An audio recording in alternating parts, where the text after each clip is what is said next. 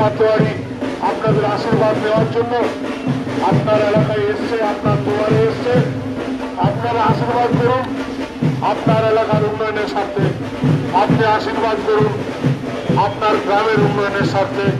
আপনি আশীর্বাদ করুন, আপনারা আশীর্বাদ করুন পশ্চিমবঙ্গের উন্নয়নের স্বার্থে।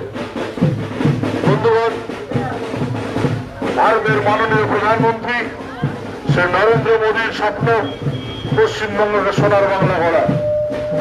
তাই ভারতের প্রধানমন্ত্রী শ্রী নরেন্দ্র মোদীর স্বপ্ন সোনার বাংলা করার যে লক্ষ্য উনি নিয়েছেন, সেই লক্ষ্যে আপনাদের সহযোগিতা চাই, আপনাদের আশীর্বাদ চাই।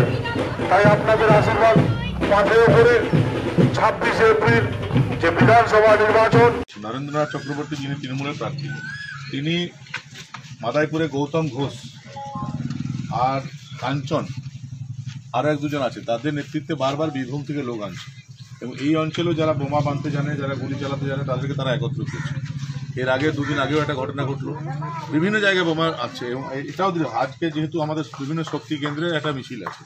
তো এই গ্রামে একটা আতঙ্কের পরিবেশ কী করে তৈরি করে দেওয়া যায়, তার জন্য আমাদের দৃঢ় বিশ্বাস যে এই গৌতম ঘোষের নেতৃত্বেই বাইরে থেকে লোক এনে এলাকার কিছু দুষ্কৃতীদেরকে নিয়ে বম একটা মারা হচ্ছে দেখুন আর বমের টুকরি সব পড়ে আছে, সব পড়ে আছে।